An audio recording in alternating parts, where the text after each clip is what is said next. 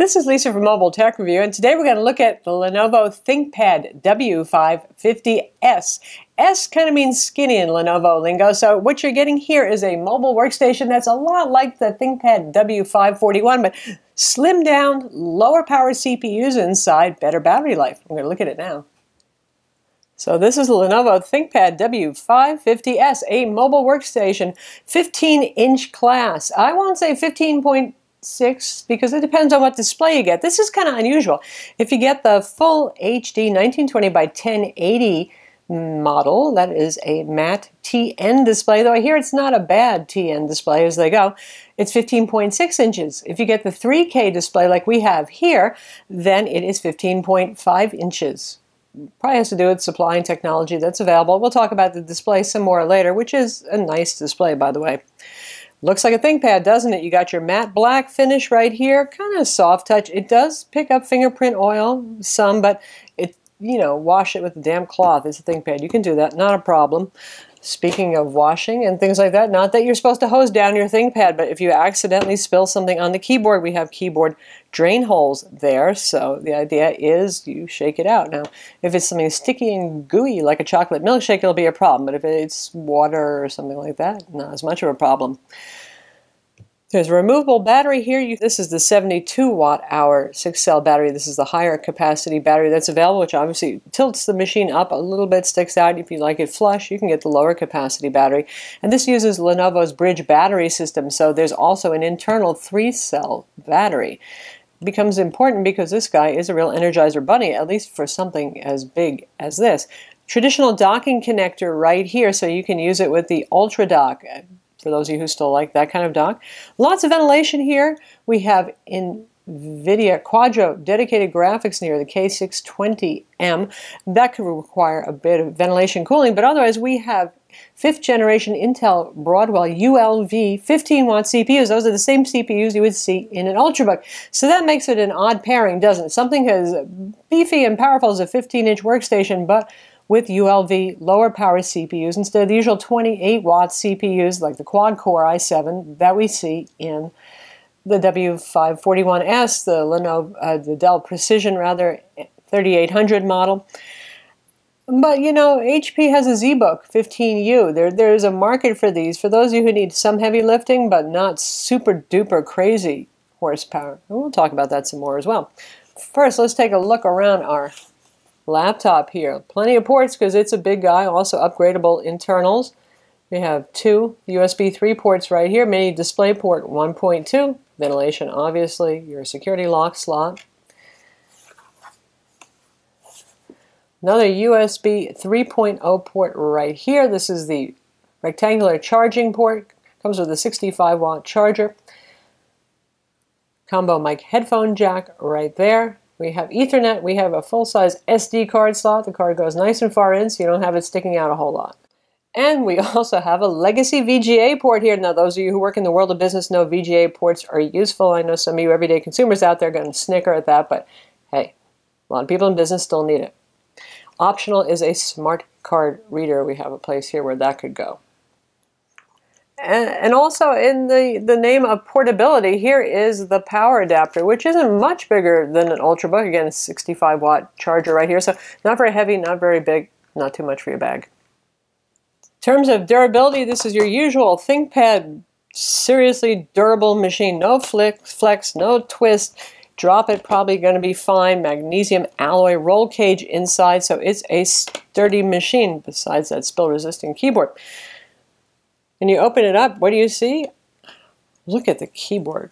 It's like nice, right? Uh, we review a lot of Ultrabooks. They have keyboards with not much key travel. This guy, even though it's not so very thick, honest to goodness, it has lots of key travel. If you're used to the classic keyboards from a couple of years ago or from larger machines like Lenovo's bigger workstations, or, you're going to love this keyboard. Really nice. It's, it's nice key height. It's got the sculpted keys. Everything is normal. And there's another special thing going on here.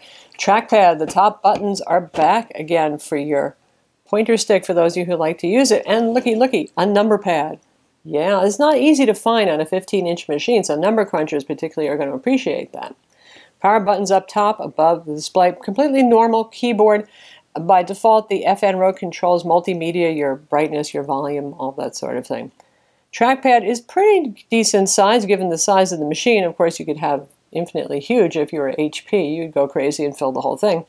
No need for that, honestly. It's large, it's predictable, it's the usual good Lenovo Synaptic solution. And of course, there's a fingerprint scanner over here. Though I'm not sure how many people need a display that goes this far back, especially with this nice wide IPS viewing angle here. You can make it completely flat if you want to. This is a matte or anti-glare display. Now obviously it's going to reflect some stuff. It is still made of glass. You can see it picking up some light as we move it around, but generally speaking, it is way less glary than your usual glossy display. It does have that kind of matte coating look to it. When you look at it, you can see a little bit of graininess on text. Uh, the colors don't maybe look as sharp and vivid as they would on a glossy display, but in the end, it makes photo editing a lot easier for those of you who are doing that. It's less tiring on the eyes, so we like it just fine. So how's the display quality? Well, you can see we have 74% of Adobe RGB here.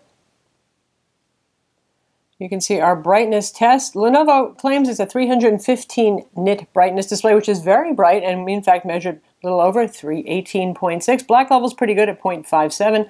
Contrast ratio, not bad, not wildly impressive. It's 560 to 1. And for our sRGB. You can see here 95% of sRGB. So that's about as good as you're going to get in terms of color gamut and support. So that's very important for those of you particularly who work with photo editing or video editing. You need to see the actual colors and, and not some blown out representation, which is what you get with lower gamut displays. So Lenovo did do a good job with color. So how much is this machine going to cost you? The base price is 1150 and that's with a dual core i7-5500U. We happen to have the 5600U, which is, well, just a small speed bump. Still dual core. All ULV CPUs are just dual core. Our machine as decked out here is around $2,400. So it can get expensive pretty quickly. For your base price, you're going to get that Core i7 5500U. You're going to get the full HD 1920 by 1080 display, and a 500 gig hard drive. Instead, we have a 512 gig Samsung PM851 SSD, which is a fast SSD. We have the 3K display here. That's 2880 by 1620. By the way, we're running this at 200% scaling, which is the default. And we'll go back to the desktop. So you can see that. Obviously here we have the touchscreen model. Now if you want to go up just to 3K from, from the 1080p default, that's going to cost you $200 more.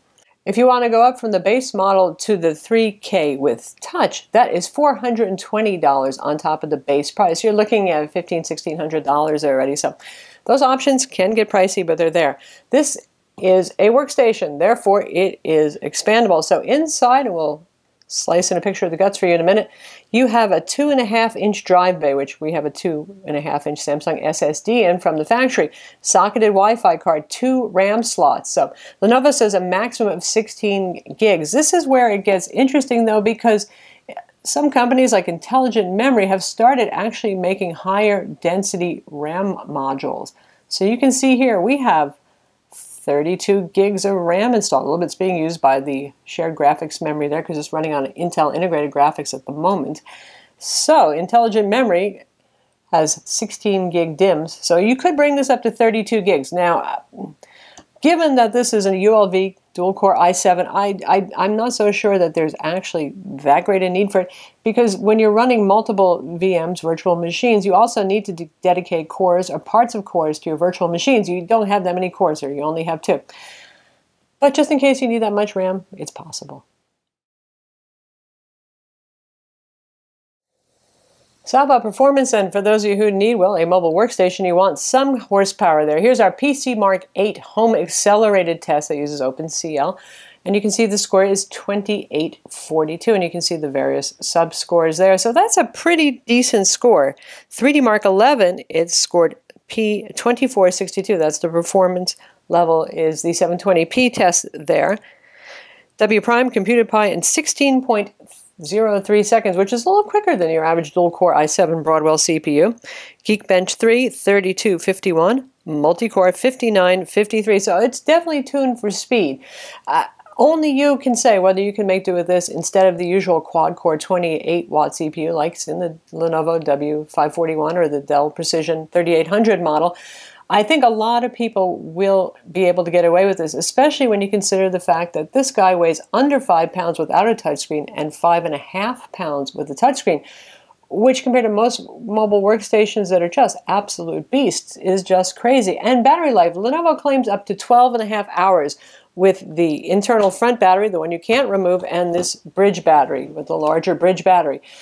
Now, that might be a little optimistic, but honest to goodness, you should be able to get a full workday out of this, depending on what you're doing eight hours, nine hours. Now, if you're doing a lot of serious rendering with this, obviously that's going to use up more power versus doing something like Word, Excel, email, uh, online stuff.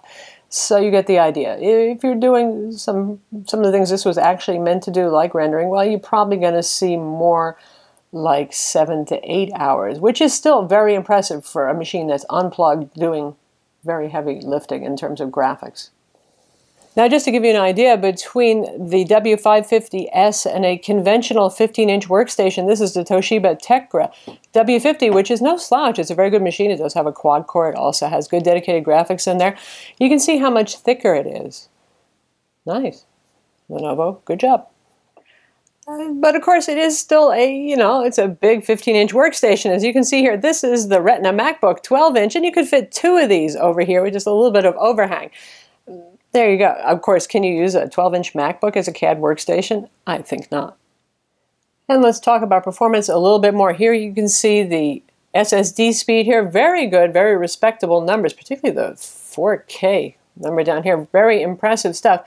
So even though it's using the, the SATA drive bay, it's getting some good speeds there. Now this does have an open M2 slot. I think Lenovo intends that for a caching drive in case you go with the HDD model. In terms of BIOS, usually you can get around it, but the, it's really designed not to use that as your main drive. But you might have luck with that. You might. One thing I will note is if you're wondering why touchscreens don't usually have matte displays, they do show fingerprints more. Uh, you can see them right there. And they're a bit harder to clean. I've been wiping this thing, you got to use a little bit more pressure. You know, you can use a damp cloth, that sort of thing. It's not the end of the world, but it does show smudges more than the average camper. And one more benchmark while we're talking about that, an important one for this class of machine would be Cinebench R15. For the OpenGL test, 47.6 frames per second, scored 281 for the CPU. SPECviewperf, the 1920 by 1080 SolidWorks test, 42.1 frames per second. Now, how is that given the fact that the CPU is not, you know, super duper quad core high wattage? It's the NVIDIA Quadro K620M dedicated graphics, which is a, a, big improvement over the K610, by the way. Now, it's not the, the highest end Quadro you can get, and Quadro is really the CAD business, really solid drivers version compared to GeForce Gaming. So the Quadro 620M has 2 gigs of DDR3 RAM. This is a Maxwell generation graphics card, 28 nanometer for those of you who follow such things. It's obviously pretty capable giving, given our Cinebench numbers, and it's fine for gaming too. It's pretty close to the GeForce 840M in the world of gaming graphics card, integrated graphics card that is. So you can play modern games on medium settings, uh, some of them high, the ones that are better optimized like Bioshock Infinite, even maybe Tomb Raider you could get up to high. Something like Dragon Age Origins, no, not so much. You're going to be looking at low to medium settings there, but still, it's a nice experience given the big display, the high resolution. It looks nice. And speaking of how it looks, we're going to play video now. Speakers are only at 50%.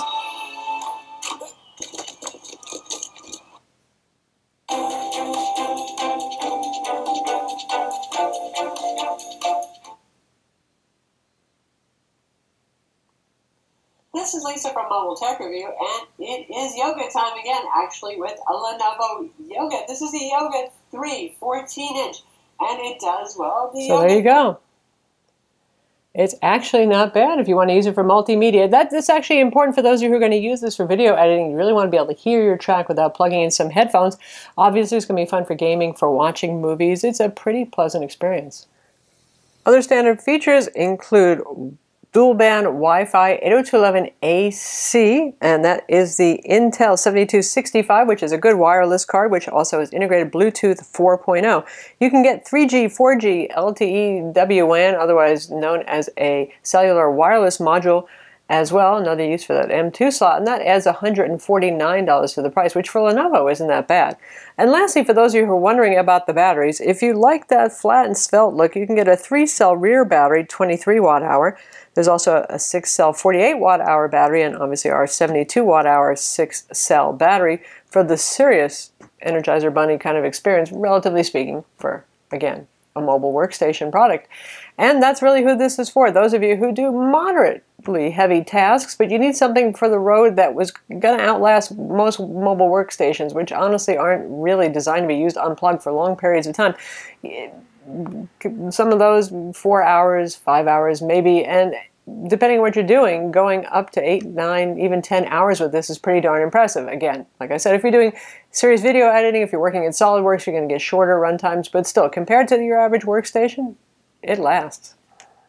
So that's the Lenovo ThinkPad W550S. It's available now. And if you're looking for a mobile workstation, you engineering types, you CAD types, and you're not doing models with thousands of parts where you really need that quad-core CPU, or if you're doing VMs but you're not doing too many virtual machines at once, then, then the, the dual-core ULV CPU in here can do the job for you with great battery life too. At five to five and a half pounds, it's pretty darn portable. A decent sized footprint here, but you get that usual Lenovo build quality, so it's pretty impressive lightweight mobile workstation. I'm Lisa from Mobile Tech Review. Be sure to visit mobiletechreview.com for our full written review and subscribe to our YouTube channel.